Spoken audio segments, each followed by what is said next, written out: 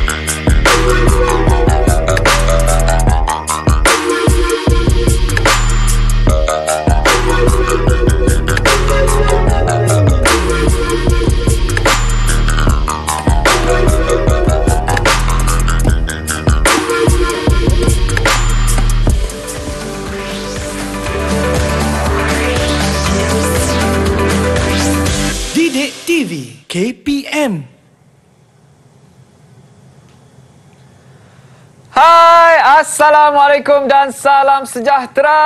Apa khabar murid-murid di rumah? Abang Muhsin dekat sini mengucapkan uh, selamat menonton slot menengah atas hari ini. Abang harapkan semuanya berada dalam keadaan yang sihat dan juga yang paling penting bersemangat. Baiklah, sebelum kita mulakan pembelajaran kita pada hari ini, abang paling suka nak ingatkan supaya kita sentiasa menjaga SOP. Contohnya, pakai pelitup muka dengan kemas, tutup hidung dengan mulut kita dengan rapi. Kemudian jaga jarak kita sekurang-kurangnya satu meter dengan orang sekeliling kita. Dan yang paling penting, kita kenalah rajin cuci tangan kita. Kalau tak ada pencuci tangan, kita kena rajin uh, bawa gel sanitasi tangan ke mana sahaja. Ah, baiklah, apa yang akan kita belajar pada hari ini? Tapi sebelum itu, apa kata kita kenal dulu uh, guru kita untuk hari ini. Jom! Ya,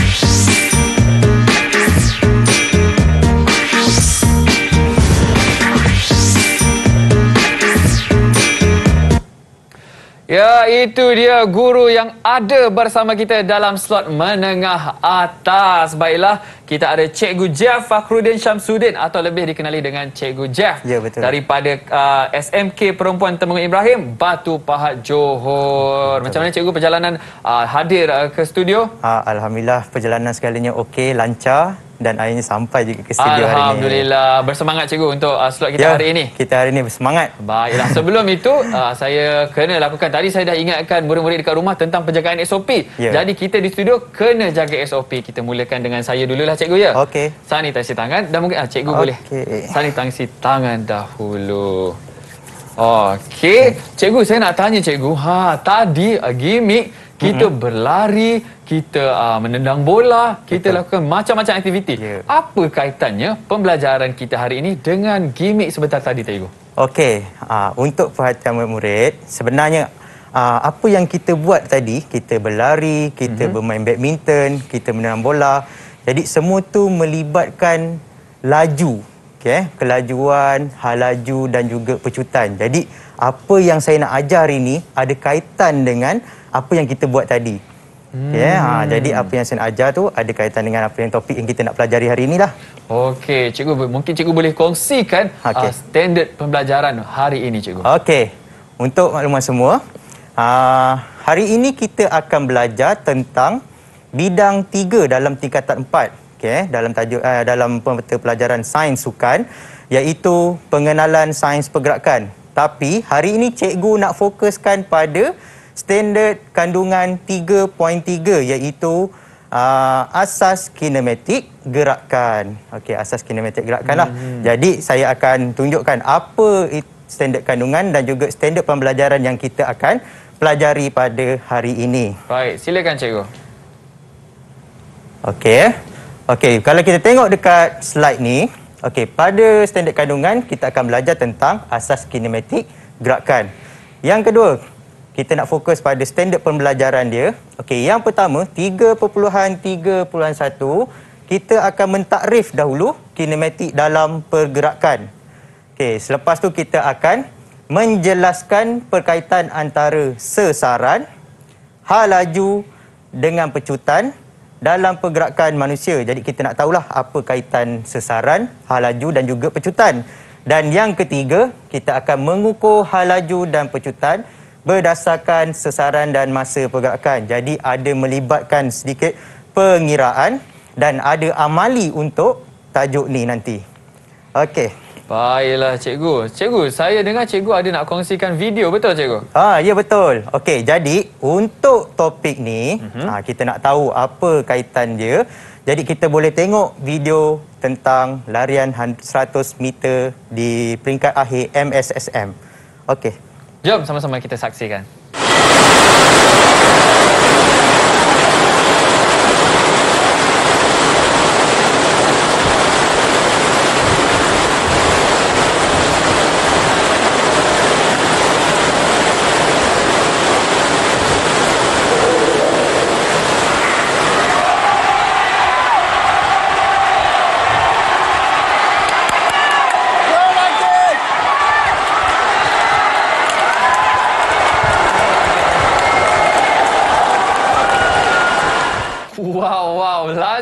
Betul. Abang-abang kita berlari. Baiklah cikgu, ah, kita akan teruskan pembelajaran kita lagi selepas ini. Baiklah kita berehat seketika. Jangan ke mana-mana.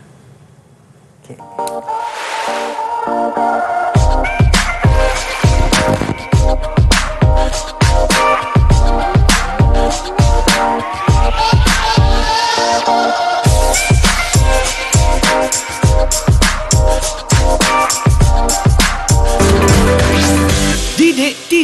KPM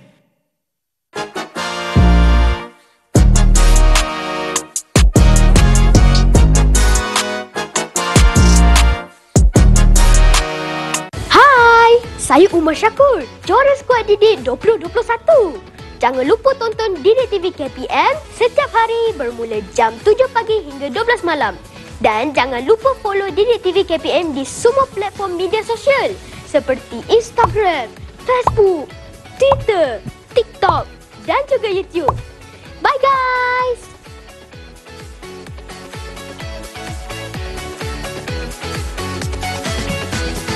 Didik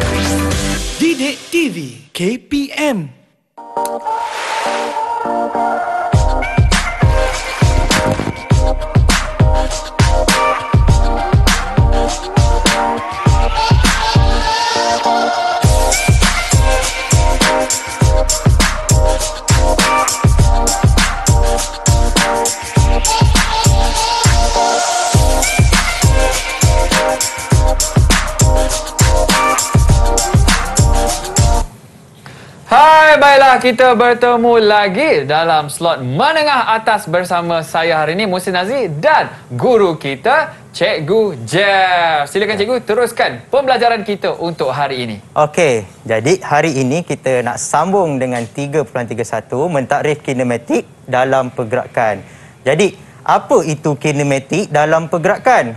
Jadi menurut McGuinness, kinematik pergerakan ni dia takrifkan sebagai corak pergerakan manusia dalam keadaan konteks ruang dan masa tanpa melibatkan daya. Okey, apa itu konteks ruang dan masa? Jadi konteks ruang dan masa ini termasuklah sesaran, halaju dan juga pecutan. Okey, itu tentang takrifan dia.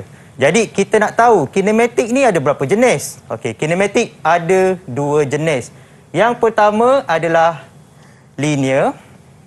Okey, yang pertama adalah linear. Yang kedua adalah projectile. Okey, projectile. Ha. Okay, dalam English projectile dan okay. bahasa Melayu kita boleh sebut projectile lah. Okey, so kita akan fokuskan pada linear sahaja pada hari ini. Okey, iaitu apa yang dimaksudkan dengan linear? Okey, gerakan linear ni adalah menggambarkan pergerakan semua bahagian objek yang bergerak lurus. Okey, contohnya lari pecut. So dalam gambar ada nampak gambar kan? Kita nampak larian pecut. Tadi pun kita dah tengok video lari pecut. Ha, tu contoh adalah kinematik linear. Okey, seterusnya kita nak masuk apa kaitan sesaran. Okey, ha, kita dah masuk standard yang kedua, pembelajaran kedua. Apa itu sesaran? Sesaran ialah jarak antara titik mula dengan titik akhir pada satu garis lurus. Okey, ha, semua tanya, uh, apa sesaran ni? Jadi sesaran ni lebih kurang macam jarak tapi dia tak sama. Hmm. Mohsin tahu tak apa beza sesaran dengan jarak ni? Saya baru nak tanya cikgu. Bila Ha. cikgu sebut sesaran tadi, Ha, saya uh, agak keliru. Apa beza sesaran dengan jarak cikgu? Okey, sesaran dengan jarak ni, okey saya tunjukkan contoh dulu dalam gambar rajah ni. Okey, kita tengok dekat slide ni. Okey, contohnya seorang uh, sama ada pelari ke apa, okey tengok eh. Dari titik A, sorry, dari titik A dia nak pergi ke titik B. Uh-huh. Kemudian dia berakhir di titik C. C. Okey, eh? ha, maksudnya dari A pergi ke B, kemudian pergi ke C. Okey, kalau jarak, jarak tu adalah dari A pergi ke B, pergi ke C. Jadi 100 meter tambah dengan 40 meter dari B ke C, jadi total jarak dia adalah 140 meter, cikgu. Tetapi sesaran, sesaran tu uh, saya cara mudah saya ajar pada murid-murid uh-huh. where you start, where you stop.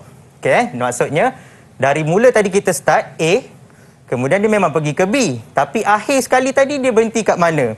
Berhenti di C. C. So jadi jarak A ke C, ha, kita nak tahu dia adalah maksudnya sesaran dia adalah dari A ke C. So 100 tolak 40 dapatlah jawapan dia 60 60 meter. meter. Jadi sesaran tu dia ada arah. Jadi maksud dia 60 meter ke arah timur A. Ha, jadi kat situ Faham. beza dia sesaran dan juga jarak. Ha, jadi pelajar-pelajar jangan ataupun murid-murid jangan kelirulah apa itu uh, jarak dan juga sesaran. Ataupun contoh lain, kita nak pergi satu tempat Mhm. melalui jalan darat dan melalui naik kapal terbang. Ha, dan uh, melalui kapal terbang dia lagi cepat kan? Betul. Ha, jadi senang cerita sesaran tu lagi sikit dia punya lagi rendah dia punya ukuran dia, jarak dia. Tapi kalau jarak tu kita daripada sini sampai ke tempat tu ikut jalan raya, ah itulah total jarak dia. Dikira jaraknya. Ya, itu beza jarak dan juga sesaran. Okey, yang kedua. Ah kita nak tahu tentang halaju. Okey, halaju ni melibatkan perubahan sesaran berdasarkan perubahan masa.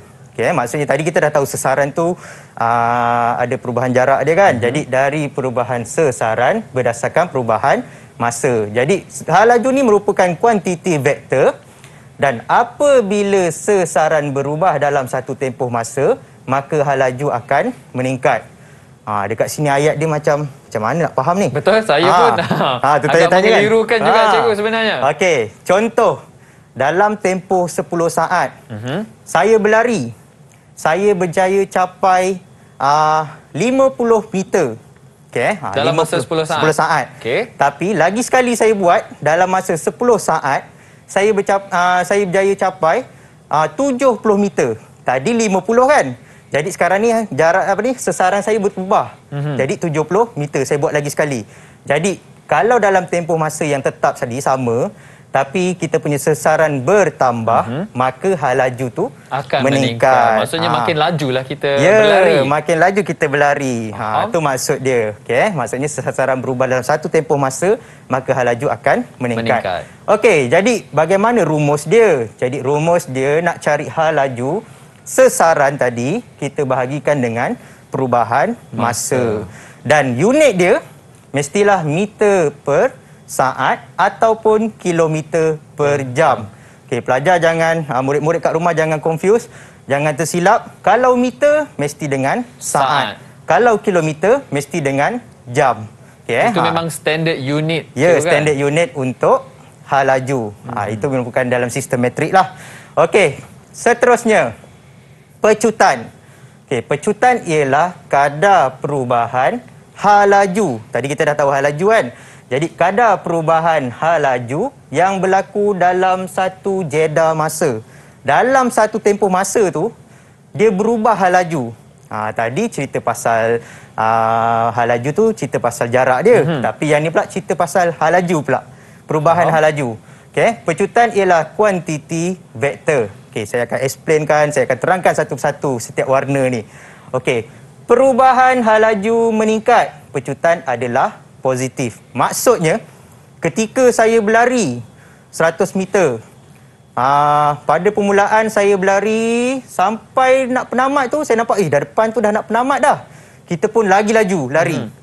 Bila berlaku ke perubahan hal laju maksudnya hal laju tadi biasa tiba-tiba kita pecut lagi maksudnya kita Lagi tambah laju. lagi hal laju. Mhm. Ah jadi pecutan dia adalah positif, Positif. berlaku pecutan lah. Tapi kalau perubahan hal laju menurun, pecutan adalah negatif ataupun kita panggil dia nyah pecutan. Maksudnya, contohlah kita tengok acara 400 meter contohnya hmm. ataupun acara 200 meter ke Yang jauh ah jaraknya. yang jarak dia jauh sikit mm-hmm. masa mula dia lari laju tiba-tiba dia dah rasa penat lepas tu dia mula perlahankan larian dia. Maksudnya daripada hal laju dia tadi tinggi tiba-tiba hal laju dia jadi rendah. Jadi kat situ maksudnya pecutan dia Adalah adalah, negatif. negatif.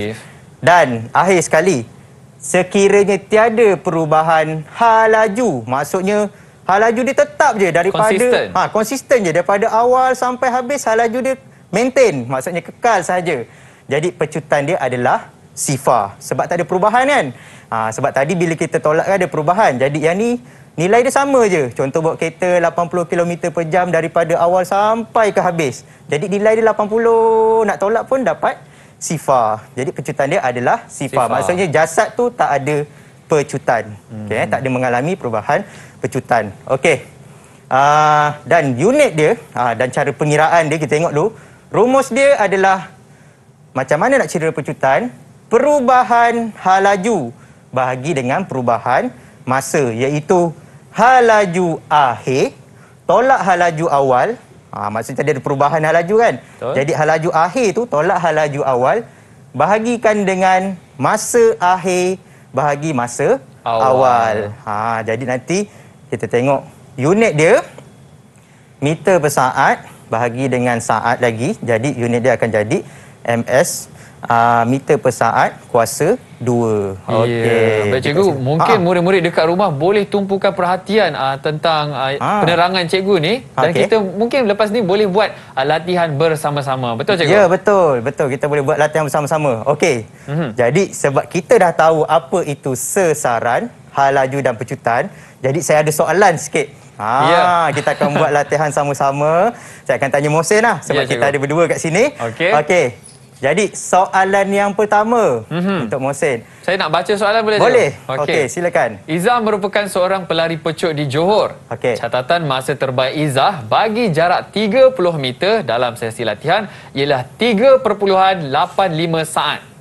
Berapakah laju purata Izzah? Okey. Soalan ni nak apa tadi Mohsin? Kalau mengikut soalan yang saya baca, Ha-ha. soalan ni nak cari hal laju purata Izzah cikgu. Okey, hal laju purata izah. Mm-hmm. Jadi kita dah tahu tadi rumus hal laju ialah sesaran, Sesaran bahagi dengan masa. masa. Jadi sesaran dia berapa Mohsin? Uh, sesaran dia, sesaran 30 meter cikgu. Okey, 30 meter. Mhm. Masa dia pula? Masa 3.85 saat. Okey, 3.85 saat. Jadi kita masukkan dalam rumus. Uh-huh. Okey, 30 meter bahagi dengan 3.85 saat ni. Jadi nilai dia adalah 7.79 meter per saat. Okey, sebab itulah dia jadi negatif 1 meter per saat. Okey, soalan kedua. Uh-huh.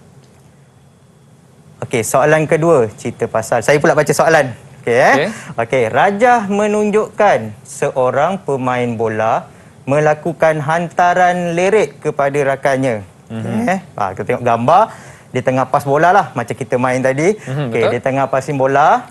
Bola yang disepak itu mempunyai halaju 4 meter per saat. Mm-hmm. So dia dah bagi dah uh, gambaran dia. Bola tu bergerak dengan halaju 4 meter per saat. Bola itu bergolek selama 2 saat dari kosong saat tiba-tiba aa, bola tu bergerak dalam tempoh 2 saat selepas disepak okay. untuk sampai ke kawan dia. Jadi sebelum berhenti, berapakah pecutan bola tersebut? Okey. So soalan nak pecutan. Pecutan nak bola cari tersebut. pecutan bola tersebut.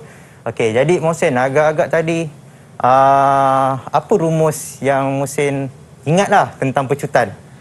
Kalau pecutan tadi cikgu ya. Ha. Pecutan perubahan apa bahagi perubahan apa? Uh, perubahan halaju bahagi dengan masa. Perubahan halaju bagi dengan masa. Okey, kurang itu tepat. kurang tepat. Okey, tak apa. Kita nak cari pecutan. Eh. Halaju bahagi dengan masa. Masa. Kita tengok. Betul. Cikgu suka. suka betul. Kita saja nak try tengok. Okey, betul. Okey, pecutan sama dengan perubahan hal laju bahagi dengan perubahan masa. Jadi, hmm. perubahan hal laju dia tadi pada mulanya bola tu statik kan. Hmm. Ha, jadi kosong meter per saat lah. Jadi bila dia tendang, dia jadi 4 meter per saat. Jadi uh, itu untuk perubahan hal laju. jadi perubahan hal laju dia 4 meter per saat lah. Kenapa 4 meter per saat? Hal laju akhir dia 4 meter per saat. Hmm. Hal laju awal dia sebab bola tu dalam keadaan statik 0 meter per saat.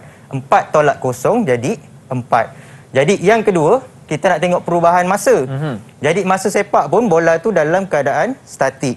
Okey, maksudnya dari kosong saat tiba-tiba pergi ke 2 saat. saat. Ha, dia bergerak ke sana dalam tempoh 2 saat. Jadi 2 tolak kosong sama dengan 2 saat. Jadi bila kita bahagikan kita akan dapat 2 meter per saat kuasa 2. Hmm. Ha, Cikgu, jadi, saya ada soalan okay. melalui jalan kira tadi. Uh-huh. Kalau unit untuk halaju, uh-huh. uh, meter per saat negatif hmm. 1. Yeah. Tapi kalau untuk pecutan, kenapa meter per saat negatif 2, Cikgu? Okey, ha, bagus soalan Mohsen tu. Okey, kenapa jadi negatif 2? Tadi negatif 1. Okey, tadi pada mulanya, kita tahu sesaran bahagi dengan masa. Sesaran mm-hmm. tu dalam meter bahagi dengan masa jadi S saat.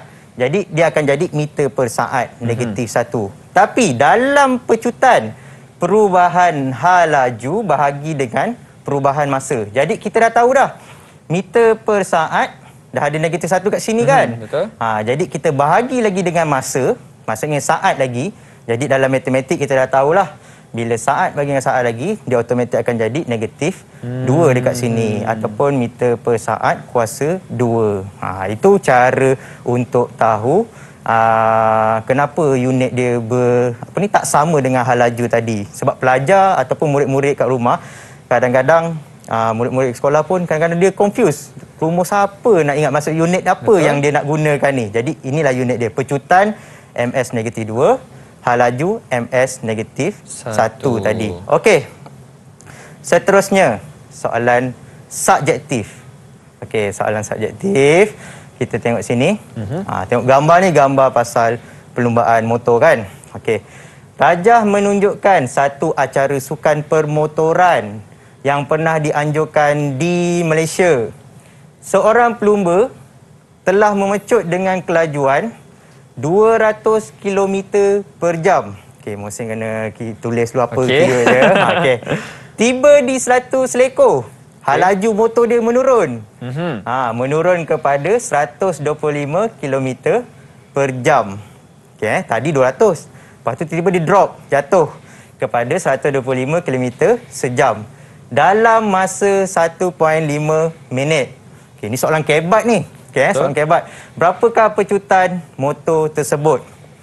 Okey, first kali mm-hmm. laju akhir dia berapa? Akhir uh, laju akhir cikgu ya. Ha, maksudnya 125 km 125 sejam. km sejam. Mhm. Laju awal dia 200 km sejam. sejam. Okey, mm-hmm. jadi perubahan hal laju kita dah tahu, mm-hmm. tapi dekat sini ada masa dia. Masa tu kita dah tahu tadi kalau kilometer mesti dengan Jam. jam. Jadi sekarang ni dalam Minit. minit. Jadi kita kena ubah dulu kepada Minit kepada jam. jam. Okey eh. Jadi Hmm. rumus kita dah tahu. Okey, jadi macam mana kita nak ubah? Kita bahagikan dengan 60 lah. Kita nak tahu berapa jam tu kan. Hmm. Sebab jadi jam ada 60 1.5 minit. minit Okey. bahagi dengan 60, 60. kita akan dapat 0.025 Jam. jam. Okey, so itu yang pertama. Kita kena tukar dulu unit dia.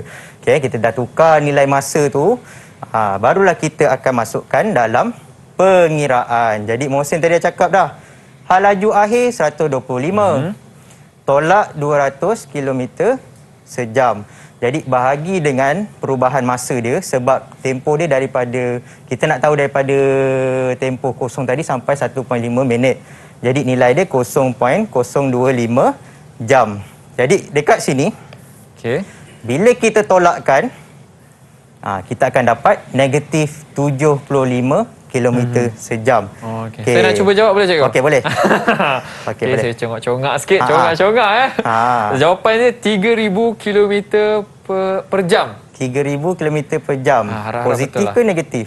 Uh, negatif ke positif? Ha, negatif cikgu. dia. Negatif sebab apa? Kita dah dapat tadi negatif kan? Aha. Okey, so negatif 3000 km per jam. Jadi Mhm. dekat sini ah tadi saya ada terangkan tentang pecutan negatif kan? Ya. Okey, inilah contoh pecutan negatif. Maksudnya dia dari laju tiba-tiba kat selekor dia turun, menurun, Turun. slow. Ha, bila menurun tu, ha, inilah kita panggil pecutan negatif. Jadi nilai jawapan dia adalah negatif 3000 km per jam. Okey. Baiklah, selesai tiga soalan cikgu. Ya, tiga soalan Ah, untuk Mohsin. Murid-murid dekat rumah, jangan ke mana-mana. Kita akan berehat seketika. Kita ada la- banyak lagi pembelajaran yang akan kita kongsikan. Jangan ke mana-mana. Setia bersama slot menengah atas Didik TV KPM.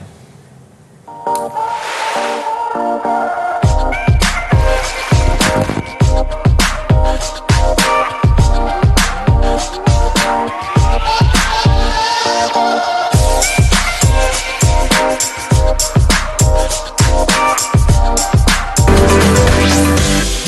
TV KPM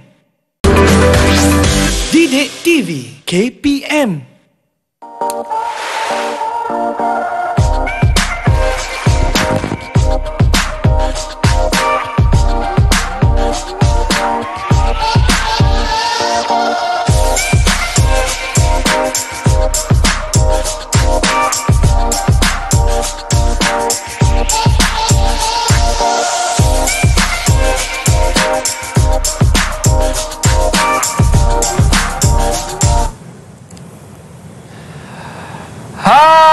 Baiklah kita bertemu kembali dalam slot menengah atas. Ha, kalau tadi anda dah lihat ada banyak alatan di hadapan saya ni. Yang ini kita ada automatic timing system. Betul cikgu? Betul, Kita ya. ada marker dan kita ada uh, stopwatch. Ya. Betul Ha. cikgu? Ha, apa yang akan kita lakukan ni cikgu Jeff? Okey.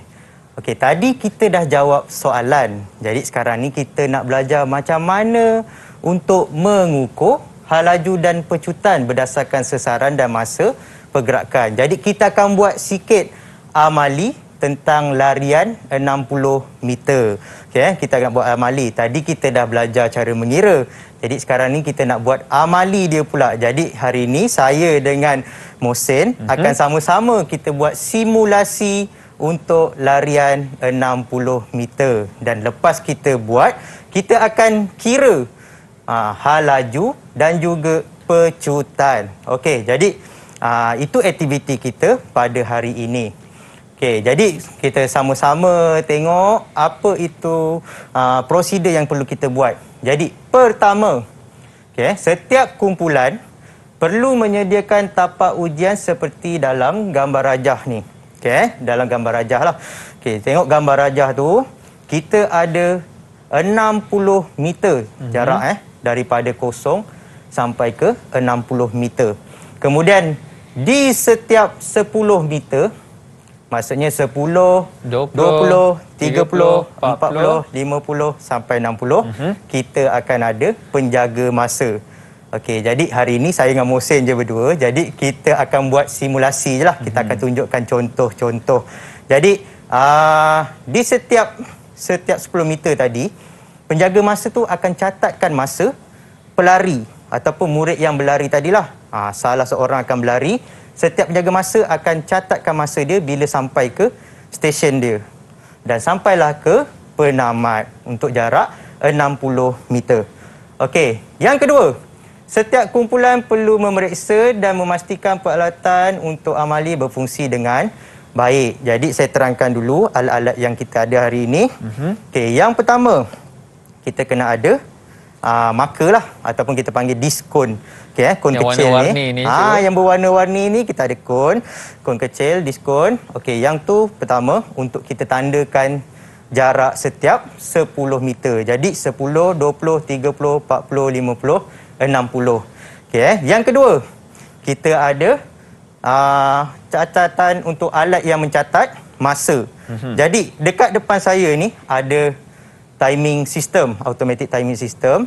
Jadi sekiranya murid-murid tiada alat ni, kita boleh gunakan jam randik ataupun stopwatch Jam macam randik. dekat Mosen. Mungkin murid-murid dekat rumah tak nampak. Ah, ini dia, ya. Jam randik. Okey. Jam randik. Ah, jam randik dalam bahasa Melayu dia. Okey, ataupun Okey. stopwatch. Okey, eh? kita gunakan yang itu. Okey. Kemudian ah dan alatan lain, mungkin pelajar-pelajar kawasan dia kita tak tahu garisan permulaan tu, kita boleh gunakan tape, kita buat garis permulaan dan garis penamat. Okey, eh? macam kat sini kita tak apalah, kita dah nampak dekat mana permulaan, dekat mana Penamat. penamat dia. Okey. Jadi, yang ketiga, uh, murid perlu berada di belakang garis permulaan dengan gaya berdiri. Okey, gaya berdiri. Mm-hmm. Uh, saya rasa Mohsin tahu dah gaya berdiri macam, Macam, mana tadi. gaya dalam gimmick tadi cikgu masa Ya, kita nak lari tu. macam nak lari tadi dalam gimmick kita tak bersedia Okey. nak berlari. Cikgu cakap saya buat gaya cikgu supaya Ha. murid-murid dekat rumah nampak cikgu. Okey, ha ini contoh Okey. gaya berdiri. Saya duduk dekat sini cikgu eh. Ha, ya. Saya buat terus. Ha, ini Okey. contoh gaya berdiri. Jadi berada di belakang garis permulaan dengan gaya berdiri dan memulakan larian sebaik menerima isyarat dari isyarat daripada pelepas. Okey, mungkin kawan dia ataupun rakan dia dia akan tiup whistle ataupun pakai Pistol. horn tu tadi. Oh, saya ingat pakai pistol, cikgu. Oh, kalau ada pistol boleh je pakai pistol tapi sebab jarak dia dekat kan kita pakai air horn lah. Okey. Okey. Eh, kita pakai horn dan masa dirakam oleh penjaga masa macam saya cerita tadi setiap jarak 10 meter. Okey, setiap 10 meter sampailah ke penamat 60 meter sampai akhir sinilah daripada Mohsin lari sampailah ke penamat dan masa dicatatkan ke dalam borang skor individu lampiran dua oleh pencatat masa. Okey, jadi ni tapak amali tadi. Hmm? Dan borang skor individu. Jadi borang tu kita akan masukkan skor-skor dia, masa dia yang dicatatkan dalam setiap segmen ni. Okey. Jadi sekarang ni kita uh, akan buat amali tu. Mm-hmm. Jadi saya akan tunjukkan dululah saya macam Baik. mana kan. Okey. Jadi ketika di permulaan, contohnya di sini permulaan dia. Jadi setiap orang akan berada di setiap 10 meter. 10 meter. Mhm. Ha, jadi jarak ni bukan 10 meter lah. Kita menggambarkan konon-kononnya Konsep, Konsep lah. dia. Ha, supaya Ha. murid-murid dekat rumah lebih faham. Ya, betul. Okey, so saya akan bergaya berdiri. Jadi kita akan berlari dengan gaya berdiri. Jadi contohnya Mohsin akan uh, bagi isyarat mula. Jadi Okey. saya akan berlari. Okey. eh? Boleh? Okey. Cikgu isyarat daripada saya. Ah, ya. Okey. Uh, satu, dua, mula. Okey, saya pun lari sampai penamat. Ah, Okey, eh? okey. jadi sampai penamat, ah, maksudnya kita dah habis lari, kita patah balik ke permulaan lah, ke- keluar daripada Aha. dia punya litar tadi. Okey, bila dah habis, Mhm. setiap pencatat masa tu akan catatkan masa dia.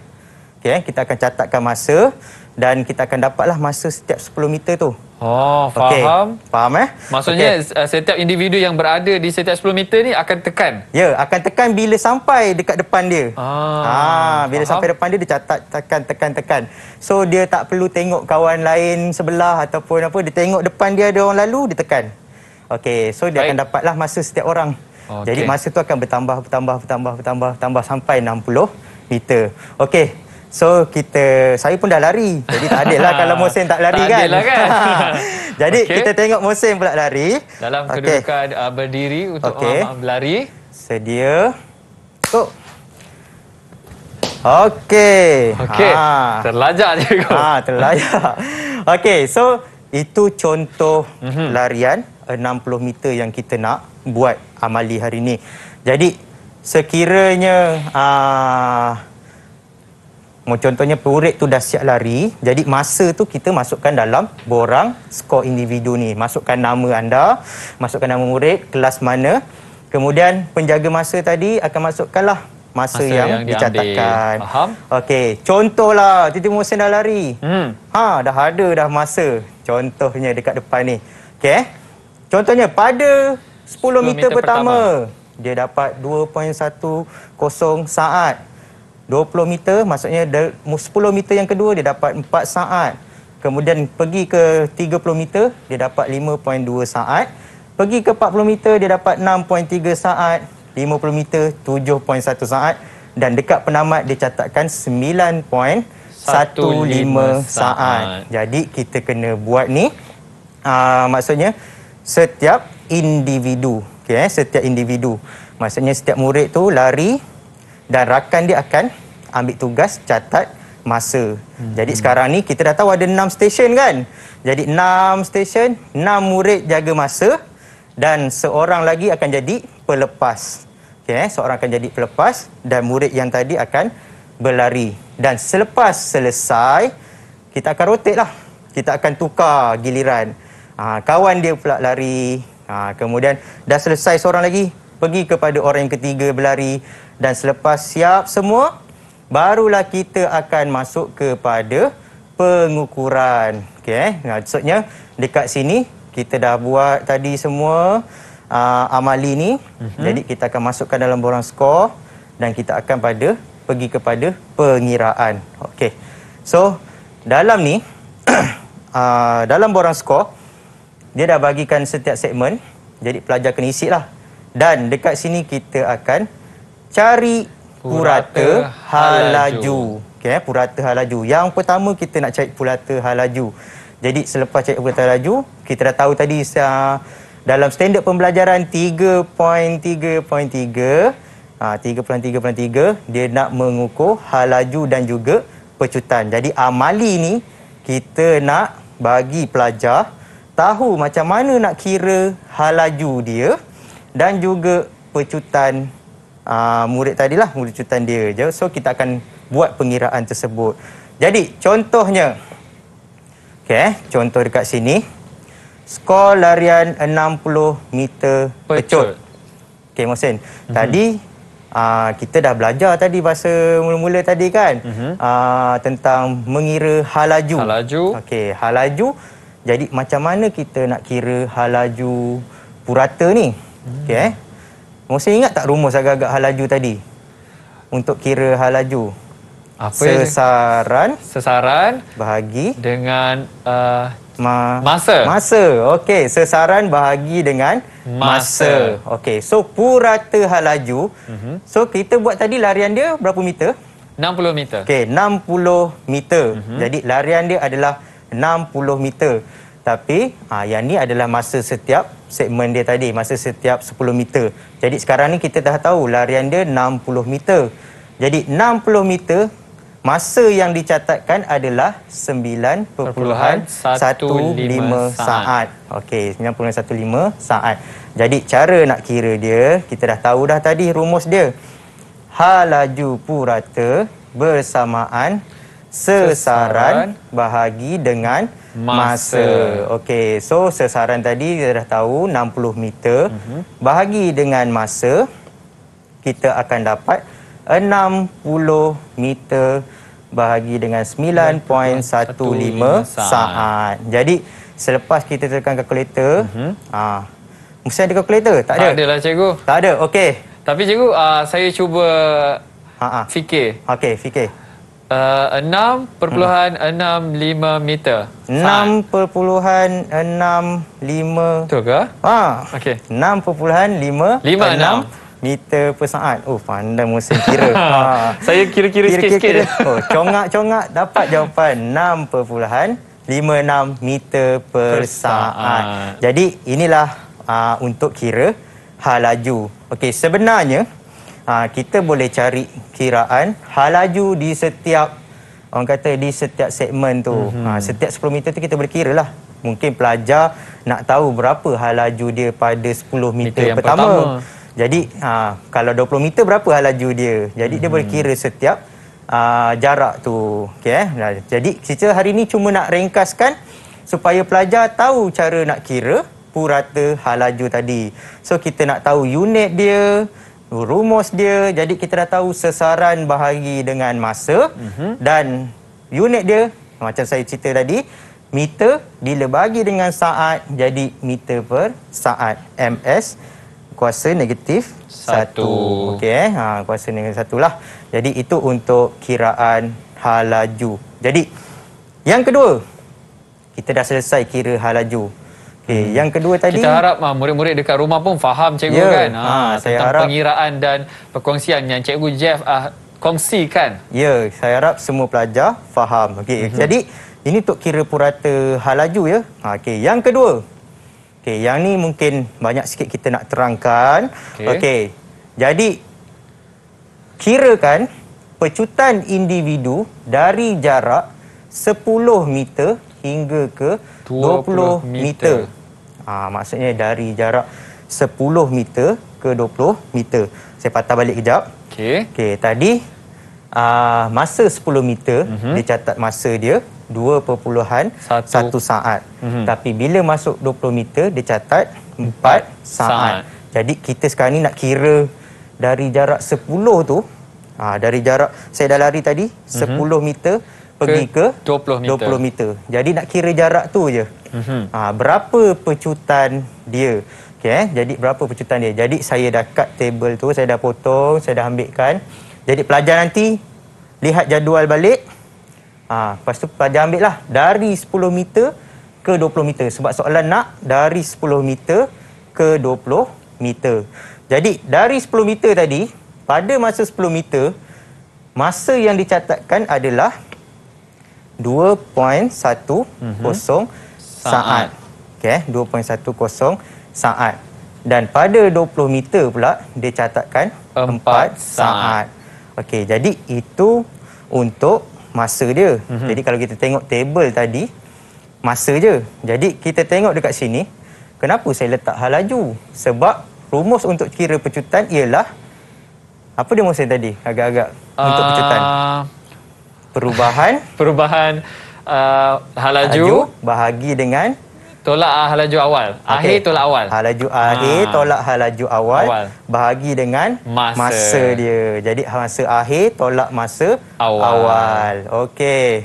Okey, dekat situ kita uh, tahu tentang Mhm. pengiraan ni. Jadi jadi kat sini saya dah ringkaskan. Okey. Jadi pelajar ataupun murid-murid kena kira uh, hal laju setiap 10 meter tadi. Mhm. Okey, eh? kita kirakan dulu. Jadi kirakan dia 10 meter bahagi dengan 2.10 saat, dia akan dapat 4.76 meter per saat. Hal laju dia untuk 10 meter pertama. Okey, untuk 20 meter pula. Okey, untuk jarak 20 meter, sama lagi kiraan dia. 20 meter bahagi dengan 4, Empat saat. saat.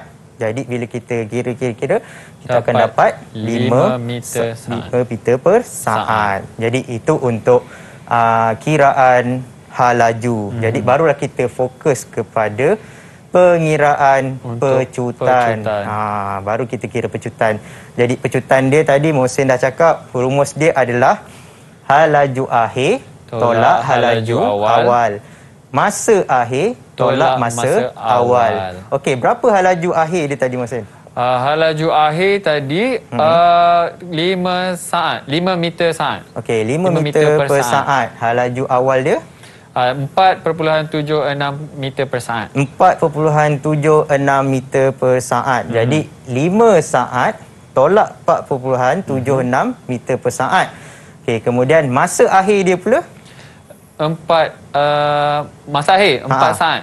4 saat. Mhm. Okey, 4 saat tolak dengan masa awal. Masa awal dia adalah 2.1 saat cikgu. Okey, 2.1 saat. Jadi kita masukkan dia, kemudian kita akan dapatlah pecutan sama dengan 5 meter per saat tolak 4.76 meter per saat bahagi dengan 4, 4 saat, tolak 2.1 saat. saat. Okey, so kita akan dapat 0.13 meter per saat kuasa 2. Sebab apa kuasa 2?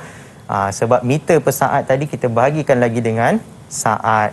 Jadi itu untuk pengiraan. Jadi kita patah balik cerita tentang uh, kita punya lita. Jadi sekiranya uh, pelay- apa ni murid-murid sekiranya tiada kon mm-hmm. dekat rumah. Agak-agak Musin nak pakai apa eh kalau tak ada kon kat rumah? Kalau tak ada kon, Ha, ha. uh, kalau murid-murid dekat rumah boleh gunakan botol air cikgu. Ya, betul. Boleh gunakan botol air. Kita susun mm-hmm. botol air setiap 10 meter. Ha, kemudian kita pakaikan stopwatch. Stopwatch tu tak semestinya jam randik tu ada dekat Uh, kita ada jam randik lah. Kita boleh gunakan phone kita Mhm, boleh betul. gunakan uh, jam tangan kita. Ada dia punya masa. Jadi kita boleh kirakan dia punya masa. Okey selain daripada uh, untuk kiraan 10 meter contohnya di rumah. Okey dalam situasi sekarang ni uh-huh. mungkin dekat rumah pelajar dah orang kata uh, setiap rumah mungkin dia tak ada kawan. Okey bagaimana dia nak laksanakan ujian ni di rumah? Jadi murid-murid boleh gunakan ahli keluarga ataupun mm-hmm. adik-beradik dia. Okey dan dalam masa yang sama kita bukan fokus kepada setiap 10 meter. Kita nak latih pelajar supaya dapat kira hal laju dan juga pecutan. Jadi mungkin pelajar boleh gunakan setiap 20 meter Hmm, Okey, eh? 20, 40. Ha, 20, 40, 60. Jadi 20, 20, 20. 20. Ha, itu mungkin Okey. Ha, itu Baik, mungkin cikgu. cara lain yang kita boleh Hmm, buat. Mungkin okay. murid-murid dekat rumah boleh, boleh praktikkan apa yang Cikgu Jeff kongsikan. Ha, kalau yang ada yang pening-pening tentang pengiraan, jangan risau. Kita bagi masa, kita akan berehat seketika dan kembali selepas ini dalam slot Menengah Atas Didik TV KPM.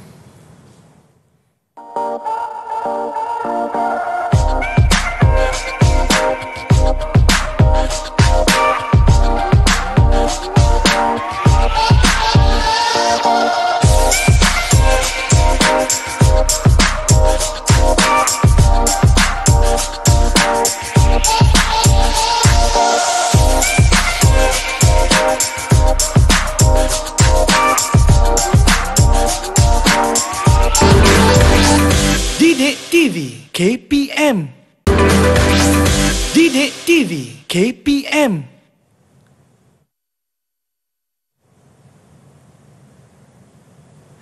Hai, baiklah kita bertemu kembali dalam slot menengah atas bersama saya Musin Nazli dan juga Cikgu Jeff. Baiklah kita akan telus, uh, teluskan, kita akan teruskan dengan soalan yang seterusnya bersama Cikgu Jeff. Silakan Okey. Cikgu. Jadi sebagai penutup saya nak bagi soalan lah. Soalan Mhm. terakhir iaitu soalan yang keempat. Raja Empat menunjukkan seorang atlet sedang memulakan larian dalam acara 100 meter. Jadi soalan A dia, apakah maksud kinematik dalam pergerakan? Pergerakan. Okey, yang kedua, kirakan hal laju purata pelari tersebut sekiranya mengambil catatan masa 10 saat untuk jarak 100 meter. Jadi kita tengok soalan A dahulu.